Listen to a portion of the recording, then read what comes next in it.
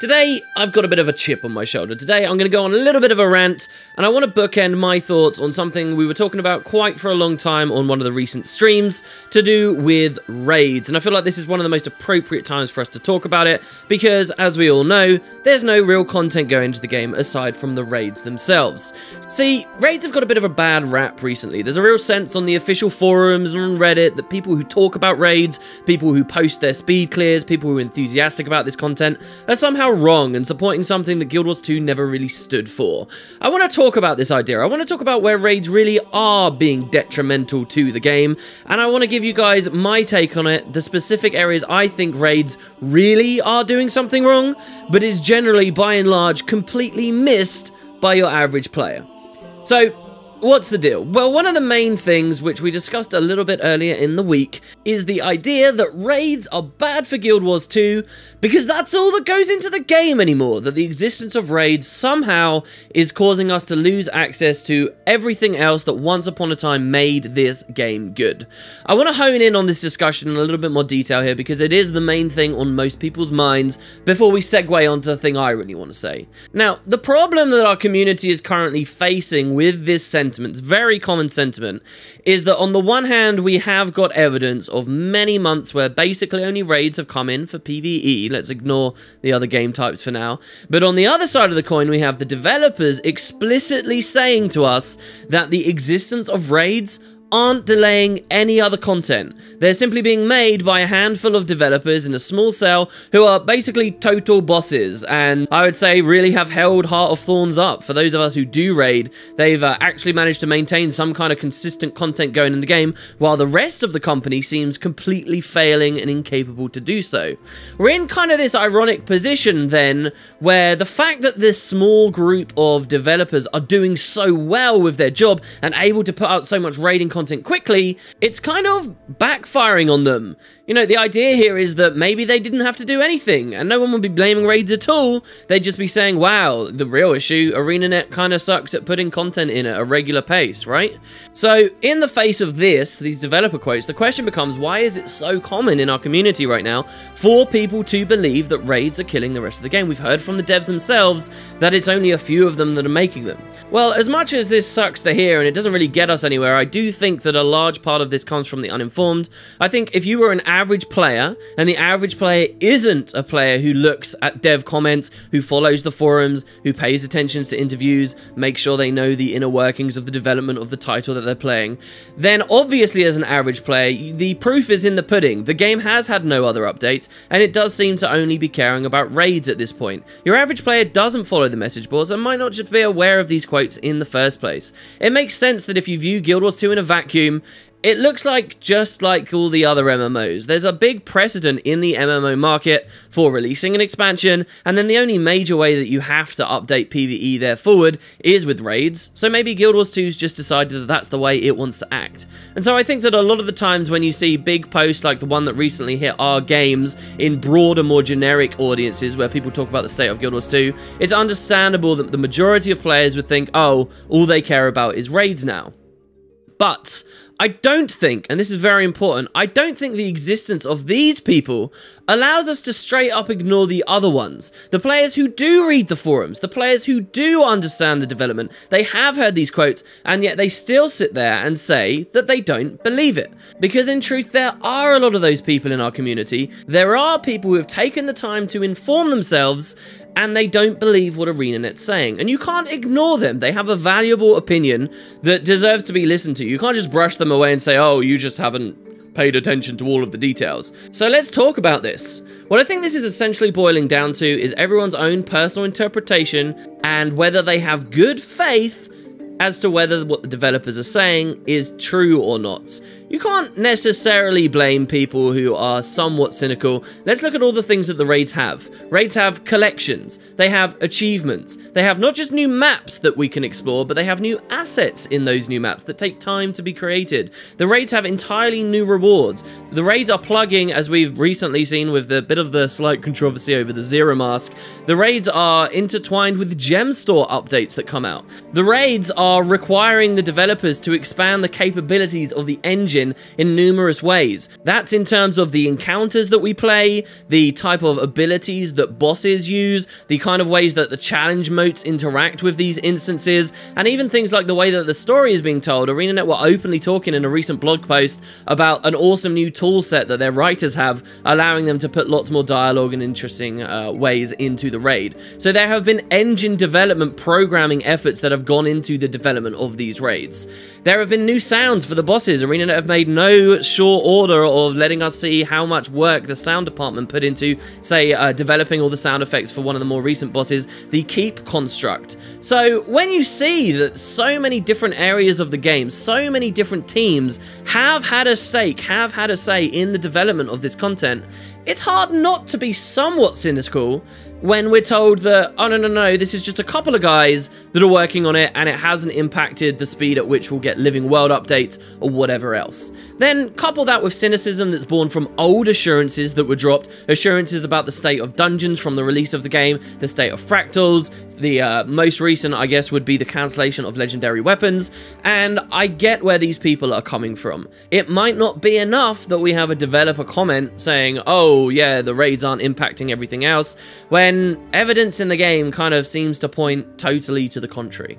Personally, my stake on this discussion is that in all my years of following the development of this game, I do admit that this particular content drought seems to be the most unexplainable of them all. And I tried to give as much leeway as possible, but when you look at areas of Guild Wars 2 in the past where people have been upset that there's not been enough PvE content going out, or World vs. World, or PvP, there have eventually been reasonable reasons for why this seems to have happened.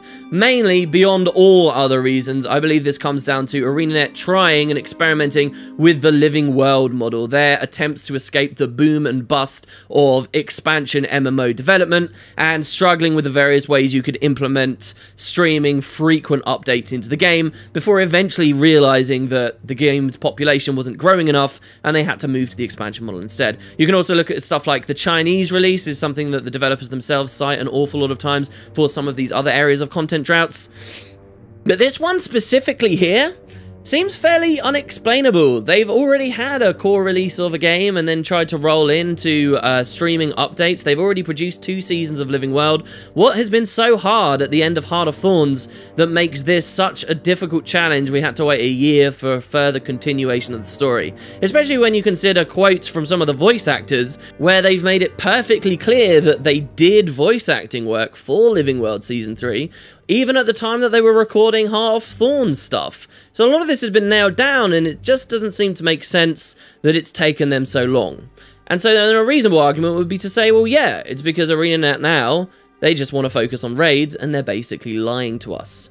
However, have said this, even knowing all of that, I do find it a bit hard to swallow that these developers, the same guys, by the way, who are spending their free time on Sundays reading Reddit and responding to people on, on forums and comments about their content, I find it very difficult to believe they are straight up maliciously lying to us to cover their asses. I think there genuinely are a group of people there that really care about the raids, who are efficient at putting the raids out, and yes, may have some reliance on other teams, but that it may not genuinely be the issue with the rest of the game. Mostly, I want to be optimistic because I think it would be a crying shame that the incredible efforts and hard work paying off of a group of people has such an ability to be used as ammo against the rest of the company somehow These people are working hard, and if they're able to put out loads of content while other people are not, that shouldn't backfire on them, and they shouldn't be subjected to blame for things that lie outside of their jurisdiction. But that's just my personal opinion. I'm not a very quick man to blame or judge, and as I say, we'll all fall at different areas on the scale uh, as for how sincere we think these kinds of comments are. And for what it's worth, there are definitely some other issues with raids that lie outside of this, and I very much agree with, such as the fact that there are unique stat sets you can only get from raids, and they should probably be accessible from elsewhere. Yes, I mean, we can sacrifice ourselves time and time again for magnetite shards to get access to anything we want, but that's not exactly fun gameplay, is it? And should be ironed out. However, moving on from this discussion, there is something I cannot stand. It usually comes paired with comments on this topic and is absolutely the thing I want to talk about today. That is the idea that Guild Wars 2 has somehow now broken from its core values, that the developers have lost their way, lost touch with their core audience, and have become two-faced in an attempt to grab at generic MMO players instead of catering to those of us who originally came to it for its principal initial values. This is such an infuriatingly incorrect comment, and particularly destructive sentiment at that, that I just have to say something, in the hopes that people will be just a little more informed and maybe do some critical thinking on this. There is a reason to be very disappointed with raids beyond what we've mentioned today, which I will get to, but that thing is categorically not something your average player seems to be appreciating. So, the tendency for people to say that Guild Wars 2 has become a generic cookie cutter MMO that totally went on its back for what it originally stood for basically boils down to these three key points, okay? And we'll make it very clear because they seem reasonable at first. Point number one is this, that raids are all ArenaNet do now.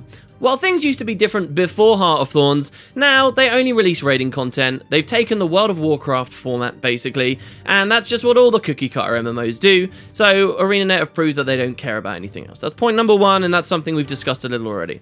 Uh, point number two is that raids are gear gated, that they're a massive grind fest to get into, and Guild Wars 2 was never about grinding, it was never about gear, and so the fact that they've introduced this content to the game that so heavily is lenient on it is clearly a backtrack on their original philosophies. And point number three, lastly, is reasonably related to this, the fact that raids are super difficult content, that Guild Wars 2 has changed and is cash grabbing at being a regular MMO, because it used to be about the casuals. It used to be about the man with a family and a full-time job who just wanted to be able to sit down and relax at the end of the day and play his favorite MMO. Guild Wars 2 was not about feeding elitist pricks who cared only about being good at the game. And now we're in the opposite scenario that ArenaNet have lost touch with that user base. So I want to discuss these points, and I want to make it clear to you guys just how different Guild Wars 2 is now in terms of what ArenaNet wanted it to be compared to its release at 2012, and we'll have some quotes to go with this. So point one, again, was the idea that all they do is raiding now. Well, yes, this definitely does boil down to how believable you find their comments on the development of raids versus the rest of the game, and maybe we'll find a lot of people who are engaging in this specific argument relax a little when they find Living World Season 3 starts as soon as hopefully it will, we'll see people appreciate and let up a little on the criticism of so much raiding content going in the game. After all, ArenaNet have never, not once, not for the briefest, simplest, slightest of little moments, suggested that raiding is all they want to do now. It seems more that it's just a problem with pushing the other content out in tandem with the raids and splitting themselves across multiple objectives at once that is their problem rather than any deliberate desire to marginalize the rest of the game and just fixate on the raiding stuff.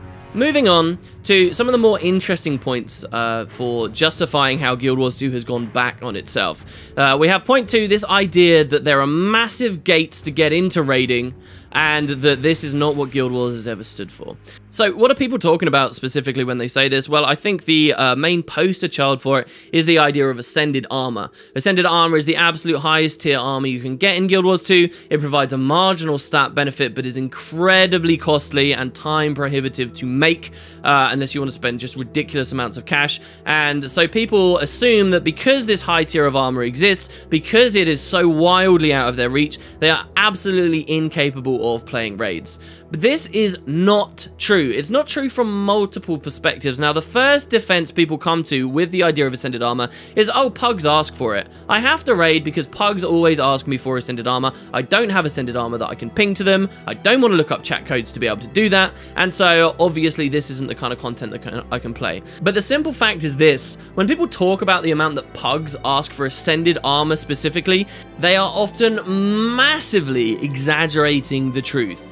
Realistically speaking, the primary discriminations that are made for pugging in raids is not Ascended Armor, but rather its Legendary Insights. So for those that you don't know about these, Legendary Insights are items you get as you clear raid encounters, and obviously the more you raid as you go through time, you'll get more and more and more of these. If you have 50 Legendary Insights, that suggests some measure of time and attention put into the raid. It doesn't suggest in any way what encounter of what raid you've actually played, and they become even even less useful as an identifier of skill as time goes forward, therefore. But also, this is something trivial to manipulate in the first place. Everyone who asks for legendary insights is in full understanding of the fact that it's a crappy identifier of skill in the first place because you can easily lie about it using chat commands. People can manipulate it, people do manipulate it, and everyone knows this. Further, it's important to point out that legendary insights being asked for has nothing to do with gear. These are only being used just as Ascended Armor was in the first place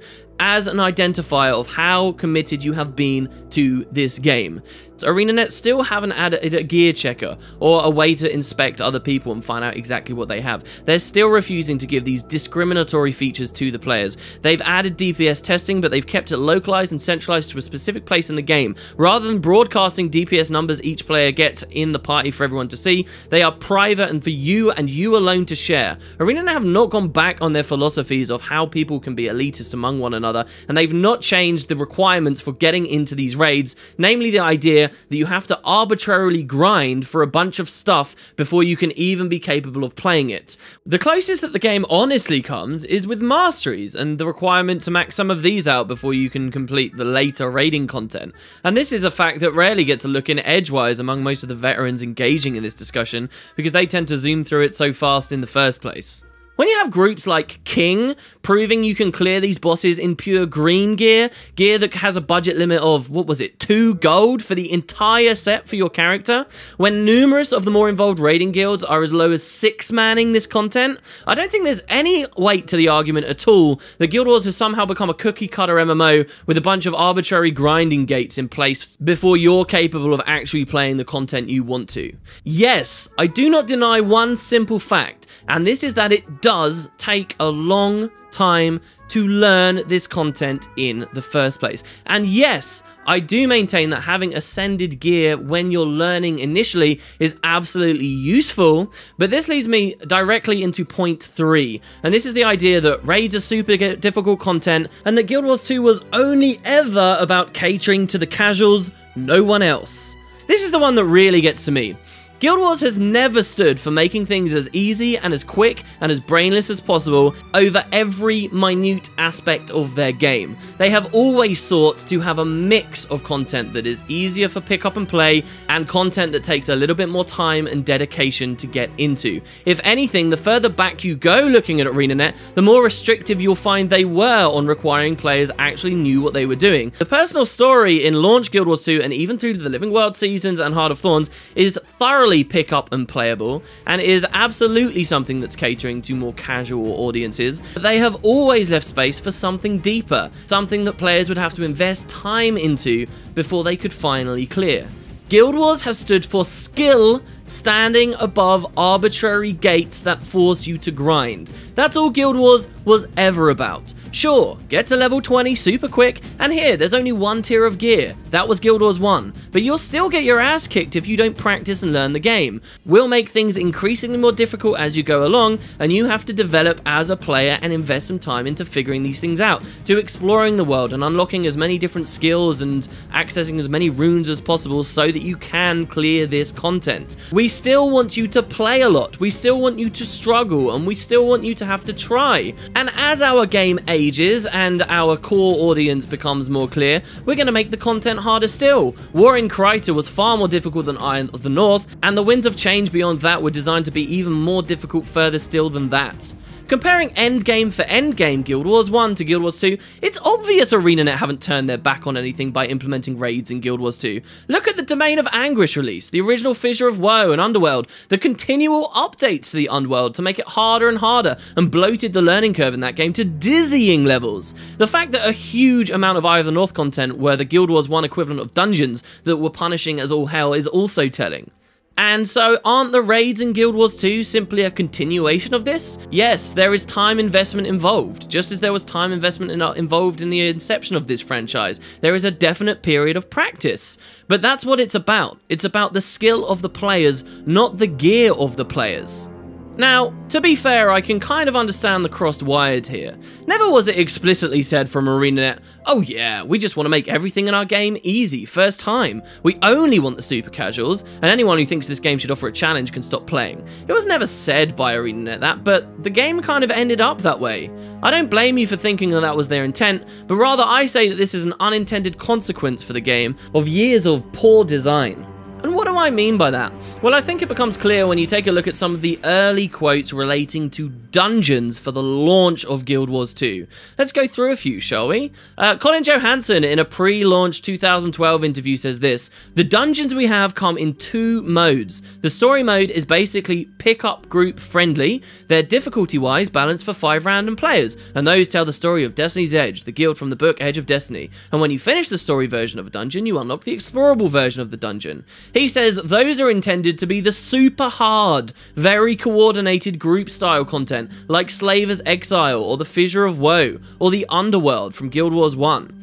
Moving on, another quote from him. He says, What I would call hard was trying to run Domain of Anguish and Mallyx with a balanced setup the first few weeks it was released. Many people called it impossible, but it was a heck of a lot of fun to do. Why? Because it offered variety and fluid gameplay, quick and deadly, like it should be. Not kiting a mob for two minutes and then waiting for the next mob to rinse and repeat. I'll point out, ironically, he goes on to say, when we first turned on Doa back in the Guild Wars 1 posts you're seeing in this forum from a few folks about difficulty were exactly the same comments everyone had about Doa. It was impossible. Mobs were just tuned to do insane damage and have high HP. There was no tactics to defeat Doa, etc. I went back and read through the original Doa launch feedback and it was literally identical to the comments folks on this forum are leaving now. This was in response to QQ at the launch of Guild Wars 2 that dungeons were too difficult. We'll get to that in a moment. Moving on to a really telling interview with Jeff Grubb, who did a lot of work on the dungeons before the game came out. He says this, there are places in Tyria where only the most experienced, well-equipped groups dare enter. We call them dungeons, but in reality, these massive instant adventure areas are set in a wide range of settings above and below the ground. He says dungeons are designed for teams of high-level players who must work together in order to overcome their perils, ending with the comment that the risks are immense but the rewards are great for those who brave the dungeons in Guild Wars 2. Hold on, doesn't that sound exactly like a Heart of Thorns raid? Jeff Grubb goes on in several more comments. He says here that dungeons represent an evolution of the original Guild Wars game experience, instance areas with a single group of players running through them. Later, he goes on to say, the explorable mode, on the other hand, is set up to be a challenge worthy of an organized group of experienced players who coordinate their attacks. Given that dungeons require more organized focus groups, we get to work out some truly awesome boss battles that require teamwork and planning to overcome. There are a number of these scripted battles in each dungeon, and some of the bosses are truly massive in size and power. Last quote for you guys here, but there are many more. He says, dungeons are optional, but are a lot of fun for players who seek a challenge. Now, don't all of these quotes sound like they could apply directly to raids? That's pretty telling, right? I'll take a quick break so we don't get too far ahead of ourselves here. I want to be clear that you are perfectly within reason to dislike what the developers are talking about here. You are perfectly within reason to dislike difficult content. That's totally okay. Maybe you love the idea of an MMO where everything is for everyone and as accessible as possible, skill or fake systems to make you grind be damned. You want every ounce of content at your fingertips without that prerequisite planning phase that Jeff Grubb is talking about here back in 2012. Maybe, whether there's a content everywhere else or not, it really pisses you off that some of the more exciting story in the game, like the White Mantle, is something you can't feasibly access. That's fair. I'm not asserting that that's not an opinion you're not allowed to have. But to suggest that ArenaNet have somehow changed their philosophy on this is wrong. These quotes are telling. We here we have ArenaNet accurately describing their intent for this style of raid content back at launch. Like I said, the reason that this didn't happen wasn't because they were going back on themselves now, it's been a result of years of shoddy development. Guild Wars 2 was a wildly different animal to Guild Wars 1. Of course the community was going to find ways to trivialize this stuff shortly after release. Most people will forget that the player base totally sucked ass at the dungeons for the first little while. Beliefs in pure ranging, PvT, and that party composition didn't matter ran amok. Dungeons were hard when you did them level appropriate, And my money's on the fact that the developers expected them to remain that way. And if you want a God's honest, naive, real perspective of an average dungeon run from launch, you have to look no farther than my very own YouTube channel, where I honestly thought dungeons were so crazy hard that I should put up a guide on navigating the horror that was Ascalon Catacombs. Those videos are there for you to watch, and they're fairly similar to the encounter guides I did on some of the raid stuff after Heart of Thorns' release. This is where the developers' testers, given incredibly limited time as the dungeons were only finalized right near launch, probably thought that the game was going to be like. And then smart people came along and defied convention. They proved them wrong and they destroyed this content. They destroyed the content because ArenaNet were dealing with a product insanely different from Guild Wars 1 and they were too slow fixing things. People became entrenched in the idea that now dungeons weren't supposed to be hard. They should be easy. That's all Guild Wars 2 was trying to make them. And ArenaNet were absolutely stuck in a position where they couldn't take that away anymore. It would have spelled disaster by being too damaging to the status quo. So, again, and for the final time, I do not think it is fair to suggest that ArenaNet have somehow changed what Guild Wars 2 is supposed to be, or by and large. See, earlier I mentioned that there was one thing we can lament with the raids, that there is one area that I think the raids have had a negative effect on this game, and that basically ArenaNet have, in this one place, gone back on what they had originally asserted at the release of the game. The one true area that raids have deviated from original Guild Wars 2 philosophies is actually a very simple one, and it was done for a sad reason. This is 10-man content, not 5. Everything that they said back in 2012 about dungeons relied heavily on the fact that they had developed a five-man system for content, and all the perks of that style of content are still very much true in Guild Wars 2 of today. The fact that it's much easier to group, that it's much easier to have a sense of your contribution to the group as a whole because you account for 20% of it. The fact that this makes combat far more readable. All of these perks are non-existent in raids and have been abandoned. Uh, fractals pending, but hey, that's a whole different story.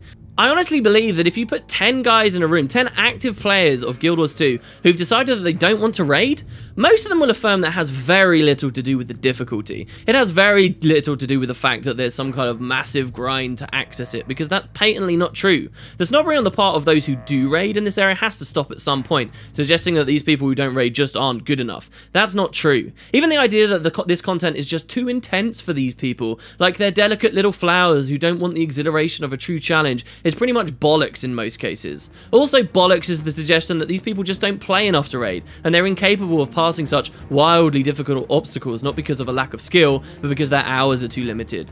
No, if you sat 10 people in a room and you ask them why they don't raid, for 8 or 9 of them it will flat out be because they don't have a group. This is 10-man content. These are people who are good at the game, do have the capacity to learn a role in a raid, and they have the capacity to learn the encounters. They would enjoy the content, and they do enjoy the pressure of it. But while they do have the time to learn and even play, and maybe even read up a little on websites of how to do things before they head in, these are people who don't have the time to spend hours browsing forums or LFG to find nine like-minded other people with similar living situations that allow them to meet each week, and nine other people that they just happen to gel together on some level of friendliness. Finding 9 other people is much different to finding 4. And some will try pugging. Watch those groups deteriorate and they'll feel like they've made no progress. They won't feel that sense of progression most of us do who actually have the benefit of being in a group, even if they get better at the encounter themselves. After all, they're just one tenth of the overall team, and unlike with dungeons where their individual progression meant something more and they could maybe carry the group to some extent, these people end up quitting out and deciding raids aren't for them. Raids in Guild Wars 2 do suck for one very specific reason. They suck because ArenaNet had to abandon their 5-man format in favour of this. It's plain to see why this was done. Raiding had to be something new and marketable for the expansion. They couldn't come out with Heart of Thorns and say, hey guys, remember all that stuff we said we wanted to do for dungeons years ago? Do you remember how we kind of failed at that terribly and you have no faith we'll pull it off? Well, we're doing it now. Oh no, we can't just fix the existing dungeons that we messed up for free. No, no, no, no. Those are old and not particularly marketable. No, we're going to make a bunch of new ones in Heart of Thorns. They're basically going to be like supercharged Aether Paths, and you're going to pay us to get access to them. Oh, and for those of you who actually enjoy the easy five-man content, you can go away and do that in the personal story or something, because that's not going to be a fixture of our game anymore. People by and large wouldn't have gotten this. There are some who ask for dungeons in Heart of Thorns, but generally speaking, people would have been too fixated on their shitty previous experiences in the core dungeons or even with Aetherpath, and they would have assumed things like the fact that Aetherpath had bad rewards means that ArenaNet won't be able to nail a good reward system in Heart of Thorns either, because after all, it's the same system, right? It's just more dungeons, and they've never got a good dungeon one done to date. So instead, ArenaNet had to present something as a fundamental change. They couldn't market more dungeons to us in Heart of Thorns, so they invented the idea of the raid. In principle, these are the same design ideas and concepts they always wanted for the game, but they had to be repackaged. And how do you repackage it without damaging the system too much?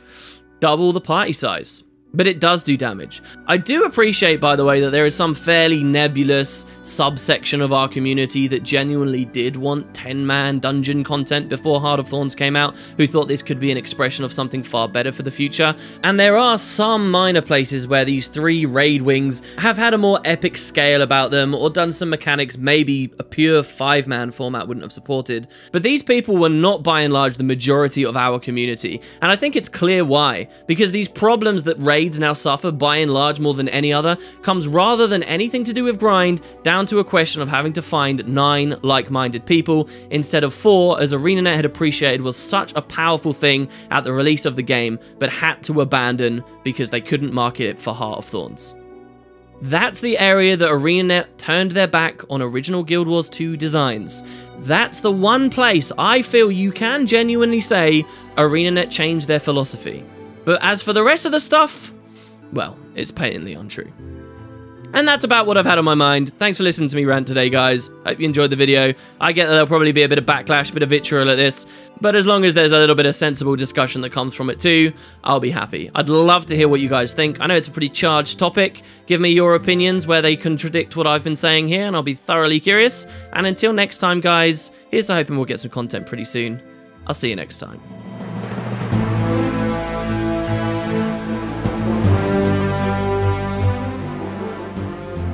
Welcome to what will hopefully be the first in a long series of videos looking at the explorable modes of the dungeons that are available in Guild Wars 2 um, and hopefully we'll continue to cover these as we go forward and complete more for ourselves. Uh, so far we've only done the catacombs but I feel like we're pretty good at this. I've got Mike here by the way, say hi Mike. Hello, hello, this is Mike. Yeah, so we spent a fair amount of time, I'd say, before 80, might I add, before we had all of our traits and our armor and stuff, um, in this dungeon, uh, really grinding our way through it and figuring the mechanics of it out, uh, which was an awful lot of fun, and